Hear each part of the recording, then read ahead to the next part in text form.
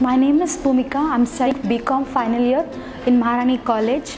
In our uh, college, they organized UNXT classes. I attended for 30 days. It was nice, and uh, from the classes, I learned many things, and I learned new values, confidence, and stage fear.